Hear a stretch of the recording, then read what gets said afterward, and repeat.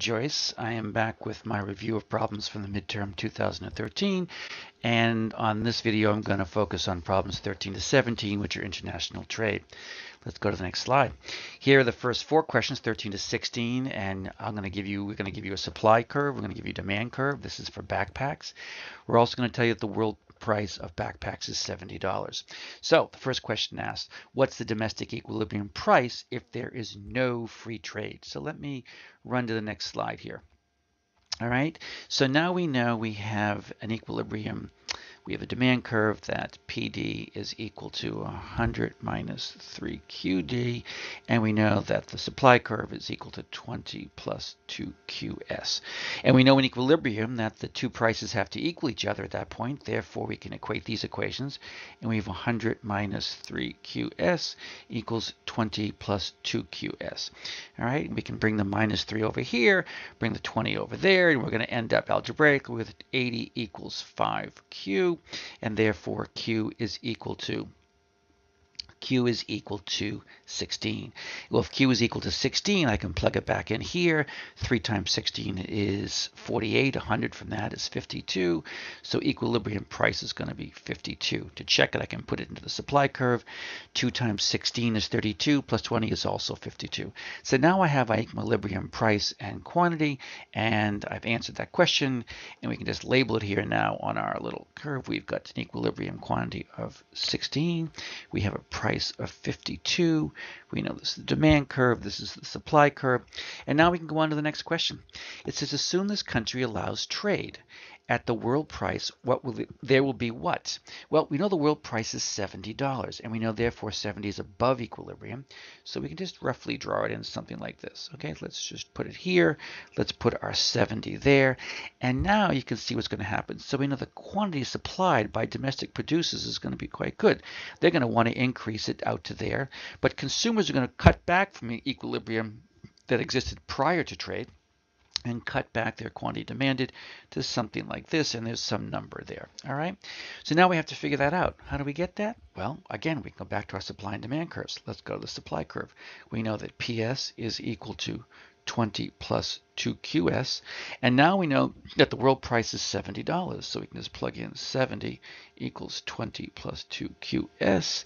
And therefore, we can bring the 20 over to here. And that's going to be 50 equals 2QS or QS. And I can squeeze it in here is equal to 25. And that's going to be very helpful. So I'm going to put 25 right there, a little sloppily, but you get the point. That's 25. So now we have to figure out what's quantity demanded. Well, we can do the exact same thing, right? We can do QD is equal to 100 minus 3QD. And now I know the price is $70, which is discouraging to consumers. So we know 70 equals 100 minus 3QD. Again, I'm going to bring the minus 3QD over here. So this becomes a positive 3QD. And bring the 70 over here. So this becomes simply 30. And now we know that QD is equal to 10 if we solve for that. And now we know quantity demanded by consumers will be 10 after trade is opened in this country. And here we have our answer. This is clearly exports, right? And the exports are equal to 25 minus 10 or exports are equal to 15 units. And so there you have your answer to number 14. It's C. They will export 15 units. All right. So now they ask the increase in total surplus as a result of trade. That's problem 15. Well, the surplus we know has to be this area right in here. All right. That's the surplus that's going to accrue to suppliers, but nevertheless, it's total surplus to society, and we have to figure out what that area is. All right. Well, it's a triangle, right? So we've got our base right here. We've got our altitude right here. And now we can figure out, well, we know the base is going to, what's going to be 1 half times the base, which is going to be 15, 25 minus the 10, times the altitude, which is 70 minus 52, which is going to be, oops, sorry, which is going to be 18. Ah, I can't go back here, I don't think, huh? All right, which is going to be 18. So let me quickly draw this in here because I lost my my area a little bit, right? So we know that this was 70. We know this was 52. We know this quantity demanded was 10. And this was 25. Just stay with me and I'm going to get this area, which is equal to 1 half times 18, which is the 70 minus 52, times the 15. So that's 1 half. So that's going to be equal to $135 is the increase in total surplus in this market here. All right, I had to erase that a little bit because I can't back up with this little mechanism I have going here. All right, let's go to number 16. All right, and 16 says, because of the Great Recession, the world price falls to $40. All right, so $40 is going to be below here. All right, but let me go to another graph here, right? So if we had our equilibrium here at 52 and we had this at 16, now because of the Great Recession, world price falls to something like this, which is $40. And now we know that the quantity demand is going to be increased by consumers, and we know that the quantity supplied is going to be cut back by domestic producers. And the question is, where do we find those points? Well, again, we go to our supply and demand curve. So we know that PS equals 20 plus 2QS, and now we know that the price is only $40. So $40 equals 20 plus 2QS. Bring the 20 over there, we know 20 equals 2QS, and therefore QS equals 10. All right, so that gives us right there uh, units of 10. And now we can go to the demand equation and we know that PD equals 100 minus 3QD. And now I know that the price is $40. So consumers like this 40 equals 100 minus 3QD. So now we know that 60 equals uh, equals, excuse me, equals 3QD.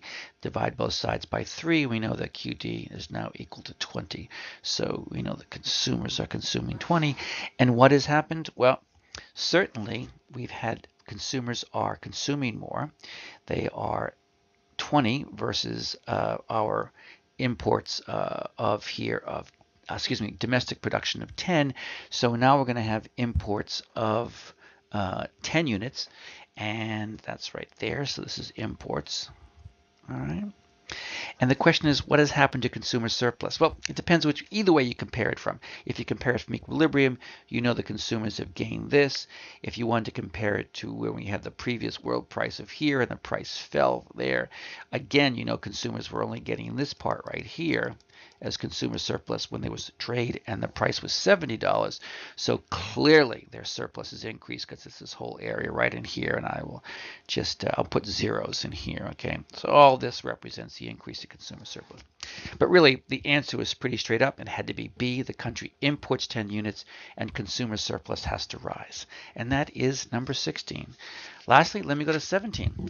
Given a world price of $40, the government decides to protect domestic producers by imposing a tariff of $6. So let's go. All right, so we were at 42, and I'll write that in, excuse me, $40.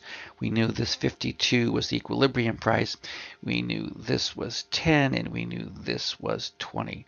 And now what happens is we add a tariff. Okay, so this was world price, but now it's world price plus tariff. It's going to be somewhere right here, world price plus tariff. All right, and now we know that this tariff is going to be $6. All right, so that's $6. And now we have to figure out, again, our new equilibrium um, quantity demanded and the quantity supplied by domestic producers. Well, you do tariffs in order to protect your their domestic producers because they're going to increase their quantity supplied. Consumers are going to cut back their quantity demanded, which is going to constrain imports or reduce imports. Your job is to figure out how much. Again, we go back to our supply and demand curve, and here's what we do. So let's go to demand. So we know that PD equals 300 minus, excuse me, 100 minus 3QD. And now we know the price is equal to 40 plus the tariff, so it's going to be equal to 46. So 46 is equal to 100 minus 3QD. We bring the 100 over or 3D over, and you're going to get 3Q D is equal to 100 minus 46, which is 54, divided by 3, so QD equals 18. So now we know consumers have cut back their quantity demanded to 18 units. And now we can go to the supply curve because domestic producers are a little happier and that's going to be equal to 20 plus 2QS. And now we know we have a price of 46 is equal to 20 plus 2QS, and therefore 26 equals 2QS, or QS equals 13.